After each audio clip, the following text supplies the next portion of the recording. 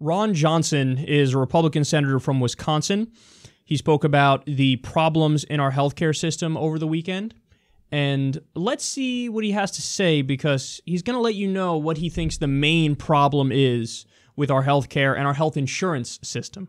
We, we know why these premiums have increased. You know, I am reminded by, remember President Bill Clinton talking about Obamacare as a crazy system? He started talking about the people that are busting it sometimes working 60 hours a week, and then they're left with premiums that have doubled and their coverage cut in half. Those are the forgotten men and women in this entire health care debate, but we know why those premiums doubled. We've done something with our health care system that you would never even think about doing, for example, with auto insurance, where you'd require auto insurance companies to sell a policy to somebody after they crash their car.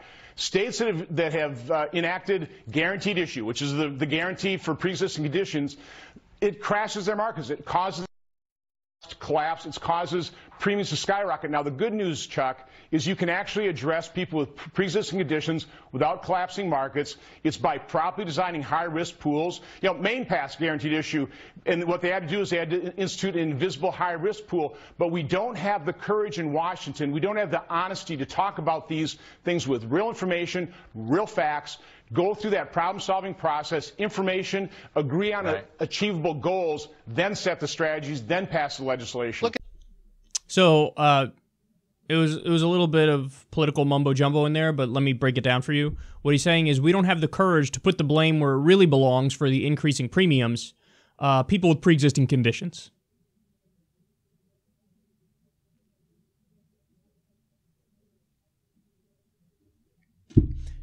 What do you want, Ron? Like, what do you want out of a healthcare system? Do you want, hey, let's, the people who need help the most, let's not cover them. Let's not give them help. Well, then what the fuck is the point of the system? That's the dumbest system I've ever heard in my life.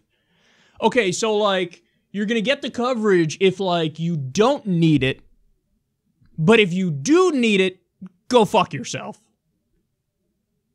That's like if you go to a restaurant and they're like, okay, look, we're going to give you food if, if you're not hungry, but if you are hungry, what am I going to do? You're actually going to eat the food, so I can't have you actually eating the food if I give you the food. So, you know, we're not going to give you food if you're hungry. That's what we do with, with health insurance and healthcare in this country. Okay, so like, you're going to pay in to our system here, but you're going to pay in when you're like healthy. And then when people actually come to us and they really need help and they need coverage, we're going to say, ah, but you're going to cost us a lot of money. We're not going to give you coverage. And these guys have convinced themselves, like, that's totally cool. What do you mean? Yeah, that's how it works. What's, what's the problem? he compared it to fucking car insurance. I mean, we're talking about life or death when it comes to healthcare. That's what we're talking about. So if you say no, you know, they should have the right to reject you if you have a pre-existing condition, so then every every health insurance company can reject somebody who needs care, and then that person is just fucked, according to Ron Johnson. But actually, no, because he goes on to talk about high risk pools. We need these high risk pools. You know what that is? That's single payer. So what he wants to do, get this, this is the new Republican thing. What he wants to do is set up a separate system, basically, for people who have pre-existing conditions and they are sick, and it is going to cost a lot of money. That separate system is effectively a single payer system. So tax dollars fund that. Now, for everybody else, for hardworking middle class people who don't have a pre existing condition, so people who he pretends to be in favor of, as he just did right there, for you, he wants you to be forced into the private market. And then, so you have to pay higher premiums, you have to get price gouged in the process, and then maybe not get care when you need it.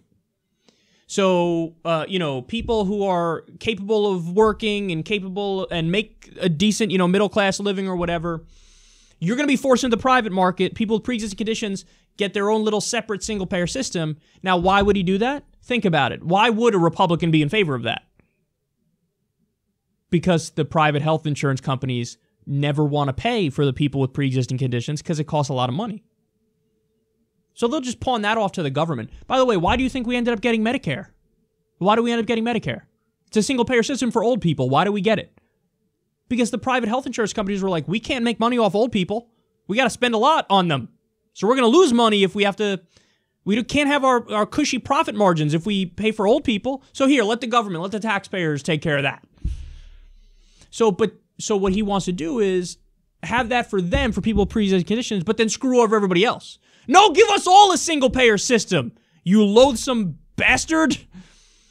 And he always they always talk about the problem. Yeah, the problem in the yeah, the problem the problem is the people with pre-existing conditions. That's what he's saying. No, the problem is that the for-profit health insurance companies have to make a profit. That's the fucking problem. Price gouging for-profit middlemen. They don't have that in other modern nations. Say it with me. They don't have that in other modern nations. You don't make a profit off healthcare, off health insurance. It's all funded by tax dollars. And guess what? They pay less for it overall. They pay less for it and they cover everybody. And they get better health outcomes. So um, take your logic of, oh, yeah, high risk pools. Put everybody in the high risk pool. That would be a single payer system for everybody. But no, they want to, okay, we'll give them an exception because we don't want the, the our poor beloved private health insurance companies to actually have to spend money on them. So no, we can't have them. Put them separately. But then everybody else, you know, people who don't have pre-existing conditions, everybody else, sorry, you're going to have to get price gouged like fucking crazy and get care denied sometimes and go into the private market, which is, of course, horrendous. No. Medicare for all for everybody right now.